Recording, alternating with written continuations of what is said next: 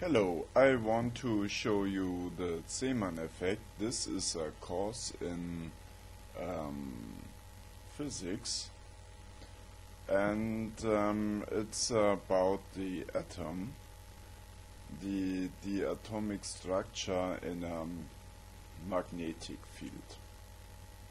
So um, here we have an atom and um, uh, when you put a magnetic field around, this is for example this,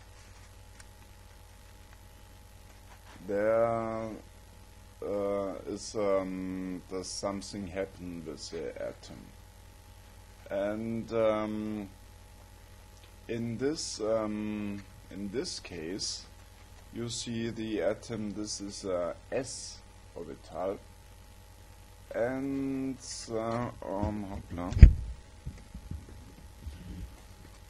and nothing happens to the atom. And um, but um, there's um, um, you can put energy to an atom, and you have a p orbital two, um, two energy level 2. This is energy level 1 and this is for example energy level 2 a p orbital and in this energy level a magnetic field can um, change the form so um, um, all uh, all that we see from an atom is um, is light that comes out from the uh, ato atomic environment, and especially it comes out when um, um, uh, energy level two uh, changes to energy level one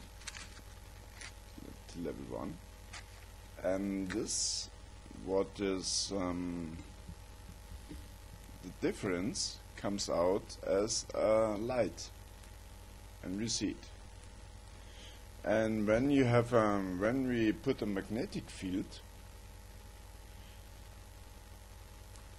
magnetic field to this um, um, atom the light is a little different and this is called the Zeeman effect. You, uh, you see uh, a little bit another light, the Zeeman effect, Zeeman effect, when there's a magnetic field. Um, what what kind of stuff is this? These are electrons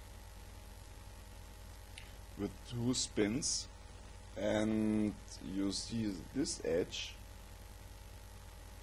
There are electrons with spins up and for example this edge electrons will spin down. And a photon is nothing else than um, some um, electrons some edges put together and this structure comes into our eye. Um, I show you the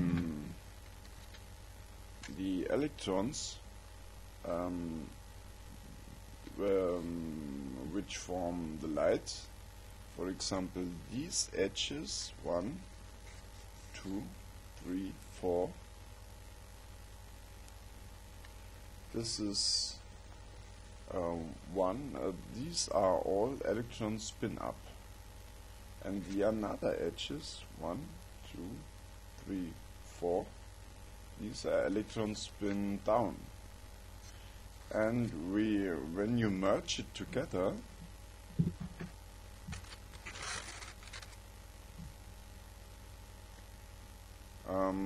um, a um, with a magnetic field, can merge it together.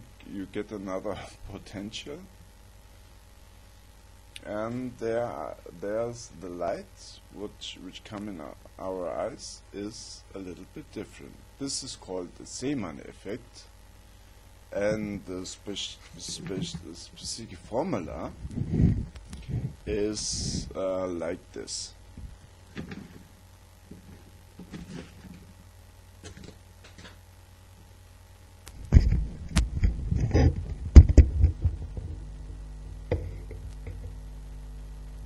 So you see, um, you can calculate uh, a lot.